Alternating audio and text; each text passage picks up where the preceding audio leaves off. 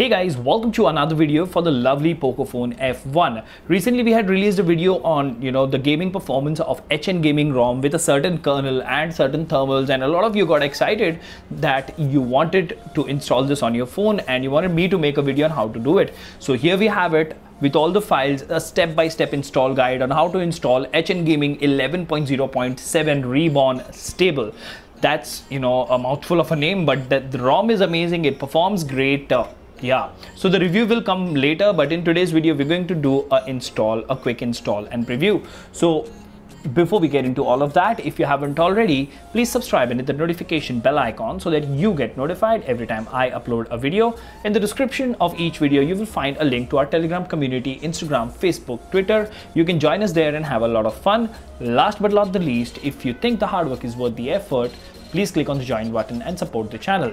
Now without further ado hello awesome people Welcome to Smartphone Tutorials. My name is Kailash. Let's get going.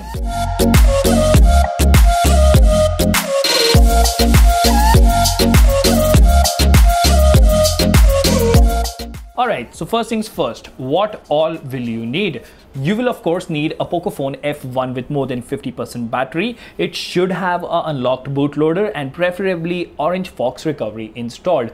You can use any other TWRP, it's up to you, but I prefer Orange Fox on all the three devices, K20 Pro, Poco X2 and Poco F1.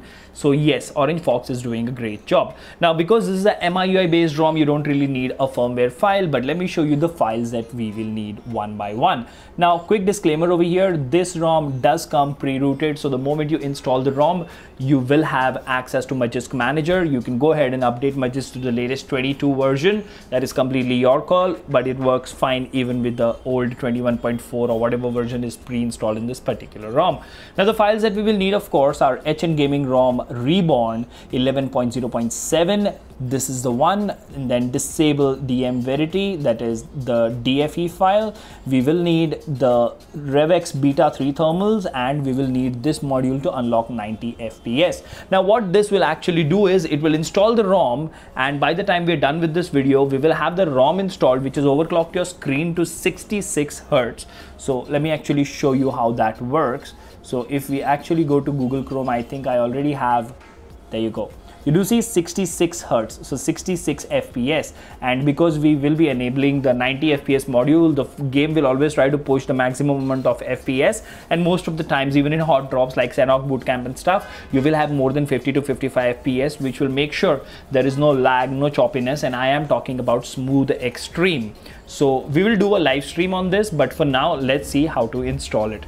So as i said you need all these things and uh, you can use a pen drive as a otg and you can wipe everything but in this video we're going to show you how to format data then how to wipe everything and then how to install it. So first things first let's actually go ahead and boot into orange fox. So let's go to recovery and recovery again beauty of a custom ROM, you have a lot of additional features. Okay, now once you're in Orange Fox, follow the steps that I show on the screen. Now the reason we are doing this is because we want to have the cleanest and the most stable flash and make sure everything on your internal storage is backed up because we're going to destroy all the data so please make sure you did you back up your data so first things first we go over here we go to manage partition select data click on the tick mark click on format data type in yes and select the stick mark. Now I'm not doing it right now because I don't need to, but you need to do this. Once you're done with that, you need to go to the main screen, go to this menu, reboot and do a reboot to recovery, which will take about 5 to 10 seconds and the phone will come back to Orange Fox. Then you need to go to wipe, so Dalvik cache system vendor data and internal. You need to wipe internal as well. I'm not doing it right now, so let's go ahead and do it. Now, once you've wiped everything, these files that you need, you need to connect your phone to the computer. If you are not using a USB OTG pen drive, then connect your phone to the computer and copy these files over to your phone, which are listed in the description. Once you've copied to the internal storage, go here and start the installation process. So what we will do first is we'll flash HN Gaming ROM okay you see this is flashing. Now this is a MIUI based ROM which is which means it is going to be about 2 to 2.5 gigabytes. So the flashing of course will take time. So wait patiently for that to happen. All right now once the ROM has been flashed you need to go ahead and flash DFE that is disable force encrypt. There you go. Flash this to make sure your phone doesn't get encrypted. This is a critical step. Don't forget to do that. All right. So once you've flashed DFE, you just need to go ahead and reboot. So reboot system. Now, of course, this is a MIUI based ROM, so the first boot will take a while. So please be patient while that happens. All right, so just like that, we are on the home screen of HN Gaming ROM, as you can see over here, right? So everything looks great. Now we do have the ROM installed and we do have Magisk Manager over here, as you can see. So you do have root access. Now what we are left to do is we are left to install the custom kernel which will overclock your screen to 66 hertz now just to make sure that we are actually doing that let's actually do a UFO test over here because with the stock kernel that comes with this ROM you will see that the screen is capped at 60 FPS so let's do a UFO test 40 57 55 59 60 so that's 60 fps for you now let's actually go reboot to recovery over here. All right. Now we just need to flash the kernel from here. So AEX SESH66. Okay. The kernel has been flashed. So reboot system now. Wait for the phone to boot into system again. Okay. So we have rebooted.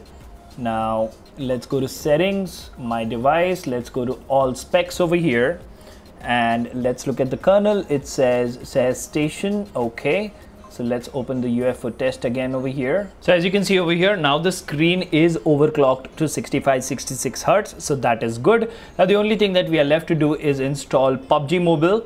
But before we do that, we will actually go to Magisk. I have updated it to the latest one, right? So over here, you go to install from storage, all right? And here select show internal storage go to Poco F1. Now over here you will have the RevX Beta 3 thermals. So you need to install those. All right, there you go. Installing thermals package, setting permissions, it will ask you to reboot. But before we reboot, we will actually go ahead and install PUBG Mobile over here. So there is a video that I've made on this in which you just need to go to PUBG Mobile dot live slash apk download immediately. It's downloading the PUBG mobile apk all right let's wait for it to download and then we will install it. Once PUBG is installed and we have entered the game what we will do is we will actually go ahead and install the unlock 90 fps module. Now with that what will happen is it will unlock 90 fps and then when we reboot we can go ahead and have an amazing amazing gaming experience. So let's wait for PUBG to download and install and then we can get back alright so now as you can see we have installed PUBG mobile and if we go to settings over here and graphics you will see you have smooth extreme you don't have the 90 fps mode so we will just about go ahead and complete the setup over here let's actually keep the phone straight because we are not going to be in PUBG for this one so what we're going to do now is first we will go ahead and install a FPS counter of our choice. There is an app called PerfMon which I got off Telegram. Short form for performance monitor. I use that all the time. Works fine for me with or without root access. But if you have issues, you can use root access. I will show you that after we are done installing the other modules. So remember we have gone ahead and installed the thermals and let's wait for this app to install completely. Okay, done now what we need to do here is we need to go to Magisk okay and then we need to go here install from storage and what we need is unlock 60 plus 90 fps now we need to reboot all right so what we've done so far basically in this particular video is we've installed the rom we've installed dfe okay? And then we've rebooted after the initial setup we've installed thermals then we installed pubg mobile we installed a fps counter and we also unlocked 90 fps so now it should constantly give us more than 60 fps and we've also installed a custom kernel. This right about completes our setup but just for you know showing it to you i'm going to reboot completely enable the performance monitor or the fps monitor for that matter. There you go. So you do have before we begin let's actually make sure all the modules are in place there you go. We have thermals and unlock 90 fps okay. And then we have perfmon or performance monitor. Go to settings. Disable everything. Just enable show fps and say show monitor. Allow display over other apps. Open it again. Show monitor. There you go. You do have the fps now let's launch pubg mobile over here. Now remember this time we are not using vpn we used vpn initially just to launch the game because uh, it, it's not working in india. So we used vpn and how to do that. You can watch my video on the channel of how to install pubg and stuff. Once you've got into the game like logged in and reached the main home screen then you're fine. But nonetheless uh, you do see that it is uh, showing fps 60 right now. That means we need to enable or you know activate the 90 fps mode. So let's go to settings over here. What's up with this button? Settings graphics. See smooth extreme. All right so we are in the game in pubg mobile and as you can see it is constantly giving uh, you know around 60 fps if you can see over here. Right?